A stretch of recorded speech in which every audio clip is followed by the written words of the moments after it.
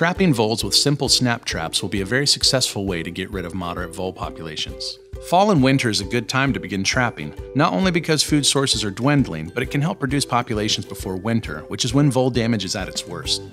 Mouse-sized snap traps are best for getting rid of voles. A small area may need about 10 traps, while larger areas may need 50 or more. Make sure to use enough traps to be as effective as possible. Place traps in runways near possible hiding places. Areas include around bushes and flower beds or other preferred plants, and near openings of burrows. Use apples or peanut butter and oats as bait. Make sure traps are perpendicular to the runways.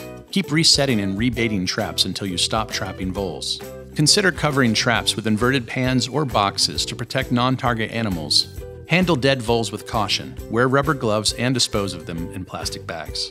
And it's that easy with the expert help from DoMyOwnPestControl.com. Subscribe to our channel for more DIY and product videos.